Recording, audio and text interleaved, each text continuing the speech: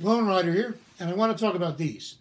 Now, pretty much everybody knows that there's a problem with uh, people being distracted by cell phones, um, either you know making a, just a nuisance of themselves, or in some cases actually being uh, dangerous and breaking the law, such as people stepping in front of traffic while they're on the cell phone, or driving their car while they're on the cell phone, and you know run, running a, a, stop sign or something. Um, that aspect of it is obviously something that I've noticed more than others because I bike a lot. So, you know, yeah, your your your close calls on a bike are a lot scarier than in a car. So you're going to notice things that affect road safety more. But I think even other drivers will agree that it's a known problem. The behaviors become almost ubiquitous. But the question becomes, why is that? And, and I've pointed out, you know, many times that uh, the mere ownership of a cell phone uh, or a smartphone, as in the case of most people nowadays. You'll notice mine. Mine is a dumb phone. I don't have a smartphone. I never had a smartphone, but um, I do own a cell phone. I've never used it while I'm driving. I've never used it while crossing the street. I've never used it in a situation where my use of it would distract me from something that would make me dangerous to myself or others. I just, I've never done that, literally.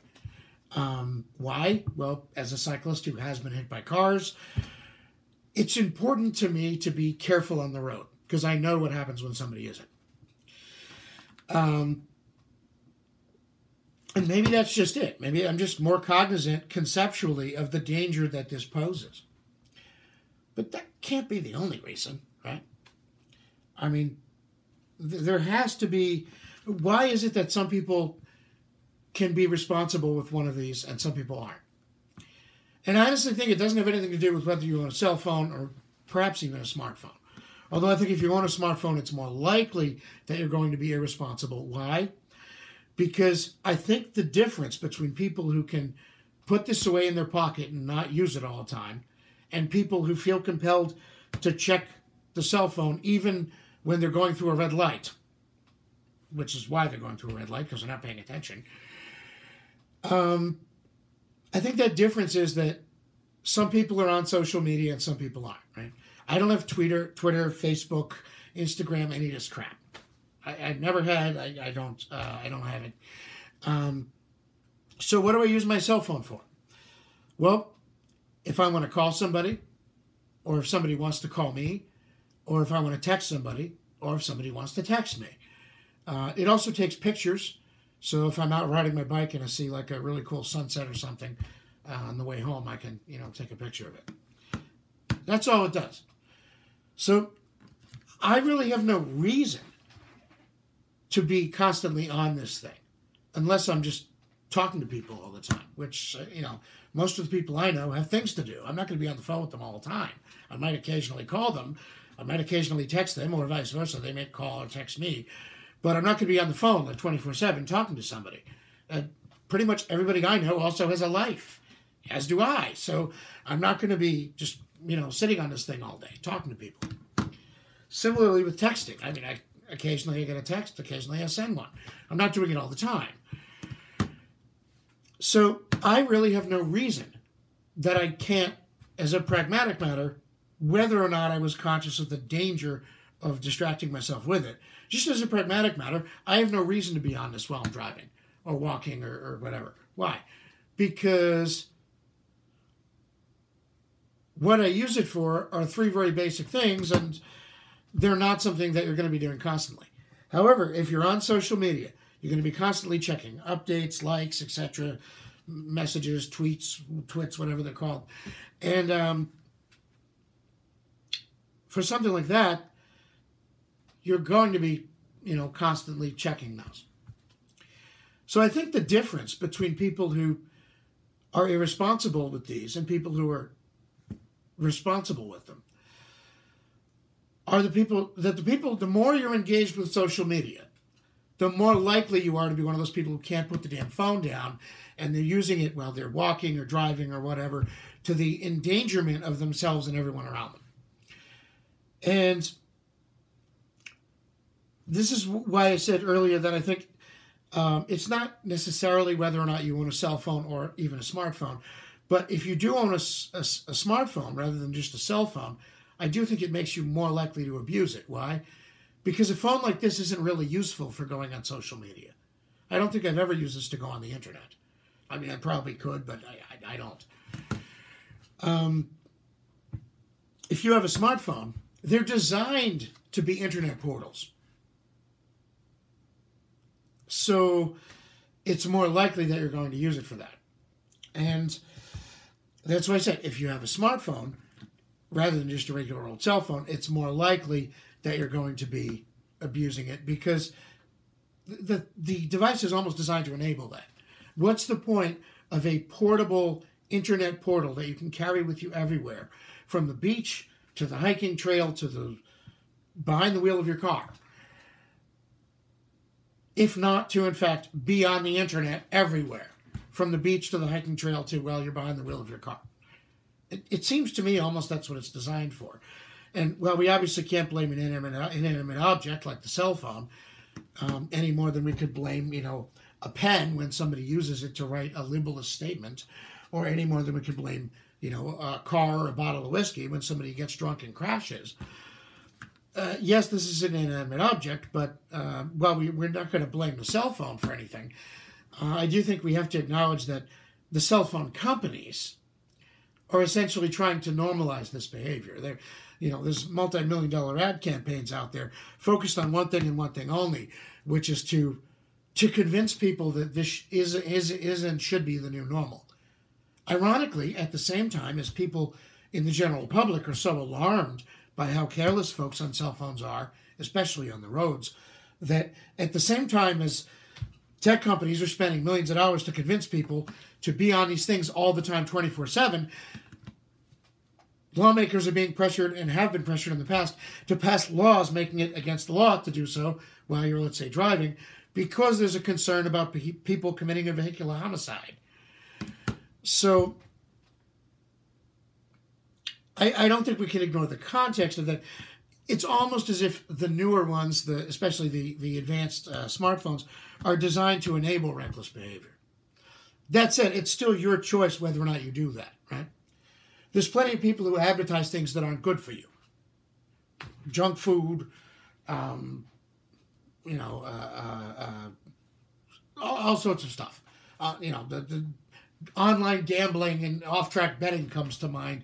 They recently started doing more gambling in New Jersey. They legalized certain sports betting, and every seems every time that somebody has the news on, and I, I don't watch that much TV, but if I happen to be in a room and the TV's on, every other commercial lately seems to be, at least during the evening news hour, for off-track betting, and it's like, oh yeah, people are going to start getting in a lot of trouble because of that. But if they do, it's their fault, right? I mean, you're you're choosing to participate. You can't blame the casino for existing. It's it's your fault if you aren't responsible with that and you squander your savings. Same thing. You can't blame the cell phone for the fact that people are irresponsible with it. Anymore, can you can blame the gun when somebody robs a liquor store or the car when somebody gets drunk and runs a stop sign. But if there were car companies telling you that it's okay and socially acceptable to run stop signs, then you could blame them. You couldn't blame the car, but you could blame them. If there were gun companies saying, hey, rob the local liquor store, man, that's what your gun's for, you could blame them for that, even though you couldn't blame the actual item itself. Obviously, these things aren't the case. No gun manufacturer is encouraging people to commit crime. No car manufacturer is encouraging people to drive drunk or run stop signs. But cell phone manufacturers and cell phone providers are encouraging people to use these things to the point where it does become a dangerous distraction in situations like when they're behind the wheel. Uh, there is a concerted effort being made, I think, to try and normalize this behavior at the same time as many people are trying to point out it's dangerous. But I think at the end of the day, the difference between the person who's responsible with one of these and the person who isn't is that the person who is most likely to be irresponsible is the person who's most fully engaged with social media. And the reason is that they have a reason to be on the cell phone all the time. Again, I've always been shocked. I'm not on the cell phone when I'm driving. I never do that. I never have. Why can't other people do that? Are they stupid? I mean, I'm not Superman. If I can refrain from doing it, why can't they? Well, the thing is, what they're using their cell phone for is very different than what I'm using mine for, right? I'm using mine to take or receive phone calls or text messages, and that's pretty much it. They're using this to go on the internet. And of course, when they're doing that, a lot of times they're on social media, which demands your constant attention because the situation and the, the status of your social media is going to be constantly updating and changing. Now, I'm not trying to blame social media for people being cell phone zombies or dumbasses or running stop signs and killing a family of four. But the thing is, if you want to solve a problem, you have to look at why it is it's occurring. And there is a problem in this country with when I'm driving down the street and I'm stuck behind somebody who's going 20 miles an hour in a 45 mile an hour zone and thinks that that's normal. The only reason they're doing it is because they're on the phone and they're distracted. But that's not normal, okay? In fact, that kind of discrepancy between yours, the speed of your vehicle and the posted speed on the road is sufficient to get you pulled over on suspicion of being drunk. Similarly, somebody is driving and they're going too fast because they don't know what the speed is, because they're distracted and they haven't looked up and seen the posted uh, speed limit on the, on the road. Um, that's not normal or safe either. And similarly, if you're looking down at your phone and you don't see that there's a stop sign there or some poor old lady crossing the street, same thing. These things are not normal they're a danger and they're an everyday problem because we all use the roads every day. Never mind other situations where people using cell phones uh, is a growing menace, essentially. Um, so there is a problem with this behavior. It's not something the rest of us should have to, you know, if I have both eyes open and I'm paying attention and I'm traveling at the posted speed or around thereabouts on the road, and I'm stopping for the traffic control devices, and I'm staying in lane, and I'm stopping for the old lady crossing the street, and I'm not hitting anybody with my car. That's what you're supposed to do, okay? It doesn't make you above normal, it doesn't make you exceeding the standard. That is the bare minimum standard. You're simply obeying the rules. All of these people that are on the cell phone they're not exercising the bare minimum of care needed to safely and legally operate their automobiles. They might as well be drunk off their arse, excuse my language. And so there is a problem with this. Now, not everybody in a cell phone is going to be as dangerous as everybody else. But you could say the same things about drunks, right? Not every drunk is going to be as dangerous as every other drunk. But they're all more dangerous than an alert, competent driver. And that's the thing. I do also think, um, to, to make a direct comparison to drunk driving, how interesting it is that, like the advanced alcoholic, there are many people who figure they can handle it when it comes to talking or texting or going on Facebook or whatever while they're driving their car, right? They can handle it. Yeah. We've all known somebody who said that and sooner or later crashed into a post, right? Because they thought they could handle their their Jim Beam or whatever the hell it was. It's no different nowadays with the cell phones or the smartphones, as the case may be. And I, like I said, the difference between the people who are using this all the time to the point where they they think nothing of using it while they're driving and endangering everybody around them. Um, they're the moral equivalent of um, if you could imagine somebody going out into a public park with a shotgun and a blindfold on and spinning around and randomly discharging their shotgun to the four points of the compass with their blindfold on and their eyes closed. That's the level of random carelessness that somebody behind the wheel on a cell phone poses to everybody around them. They literally might as well be shooting into public with their eyes closed because they're not paying attention to where they're directing that car. Um, they're the, the practical and moral equivalent of anybody else who literally doesn't care where they're pointing a weapon or a potential weapon.